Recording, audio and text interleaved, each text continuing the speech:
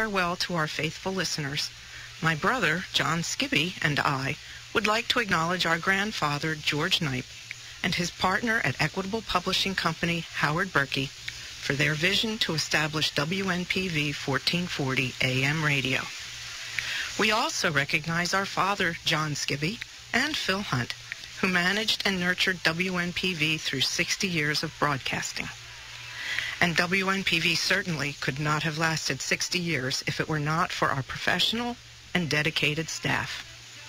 Finally, we thank all of you who have listened, supported, enjoyed, and appreciated our commitment to serving the Montgomery and Bucks communities within our reach.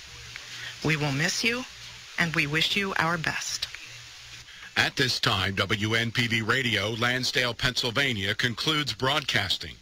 WNPV is operated on a frequency of 1440 kilocycles with 500 watts of power prior to sunrise and after sunset and 2500 watts of power during the day as authorized by the Federal Communications Commission. WNPV also broadcasted on 98.5 FM, also authorized by the Federal Communications Commission. WNPV broadcasted from the studios and transmitters on Snyder Road in Lansdale, Pennsylvania, and are owned by WNPV Incorporated. On behalf of the ownership, management, and staff, we say thank you for listening.